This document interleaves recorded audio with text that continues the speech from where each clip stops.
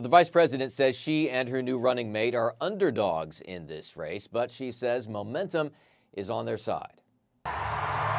Emerging to thunderous applause and a big crowd in Philadelphia, Vice President Kamala Harris formally introduced the man she hopes will be the next vice president, Minnesota Governor and former high school teacher and coach Tim Walz. The nation will know Coach Walz by another name, Vice President of the United States.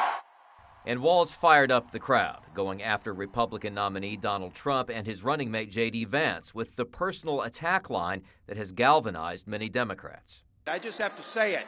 You know it, you feel it. These guys are creepy, and yes, just weird as hell. On his Truth Social site, Trump responded, saying of the Harris Walz ticket, this is the most radical left duo in American history. There has never been anything like it, and there never will be again.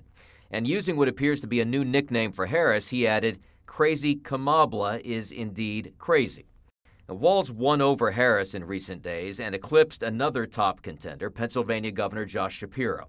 And while Shapiro could have helped deliver a key swing state, his moderate positions and his support for Israel drew fire from the far left, and there were concerns that he would overshadow Harris.